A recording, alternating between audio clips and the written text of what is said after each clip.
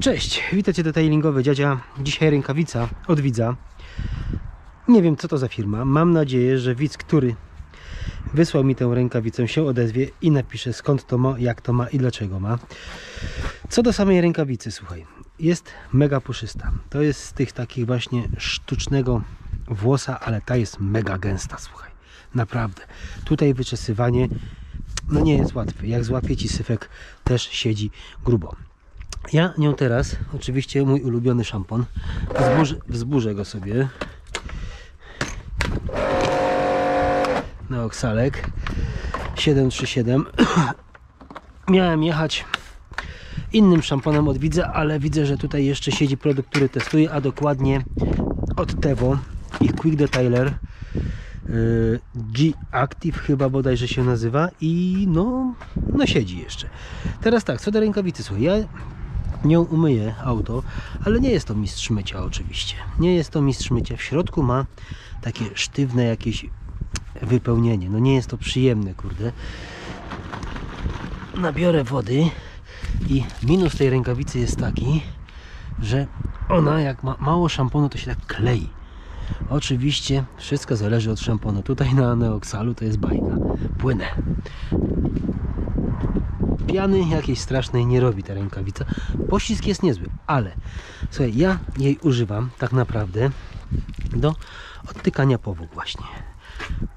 Kwaśny APC, ewentualnie yy, tutaj jeżeli chodzi o AENSO, ten yy, degraser, kurczę jak on się nazywał? Primus, Primus, tak czy tak jak nie zapomnę wrzucę Ci propozycję filmu i przy takich produktach się sprawdza. Nie polecam, bo testowałem do słuchaj yy, tar removera. Kurczę, nie mogłem go z tej rękawicy wypłukać, naprawdę. Jeżeli chodzi, kurczę, o mycie, nie jest źle, naprawdę nie jest źle. Nie znam ceny tej rękawicy, więc wtedy mógłbym się ustosunkować, czy cena do jakości jest super. Ależ ten neoksalek myje, ojej, pięknie. Y, SUV jest fajny tą rękawicą, no kurczę, tylko że mówię, jak się kończy szampon, ona zaczyna się kleić. Też w zależności oczywiście od zabezpieczenia. Ale patrząc na te chińskie, które miałem z tym właśnie sztucznym włosem, ta z tych wszystkich jest najlepsza. Naprawdę. I tu myślę, że rękawica pewnie nie jest droga i tu cena do jakości może być całkiem spoko. Całkiem przyjemnie rdza. Tutaj widzę. I co? I domywanko. Proszę, jak zbiera. Fantastycznie. Fajne jest też to, że nie jest duża i paluchami możesz sobie zobaczyć.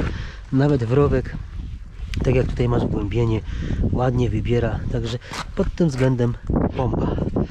Y, czy bym ją kupił do mycia auta? Teraz już wiem, że nie. Kupiłbym ją właśnie do odtykania powłok. Czyli kwaśne APC, ewentualnie właśnie do czyszczenia. O, Shiny Garage ma też yy, ten produkt yy, Red Devil bodajże chyba Degrasser. O, takie produkty właśnie.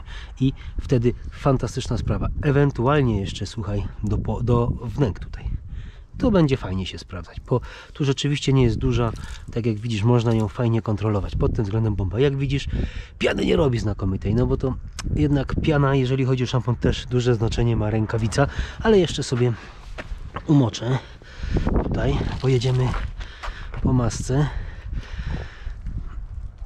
O, fajny poślizg jest na tym kudę.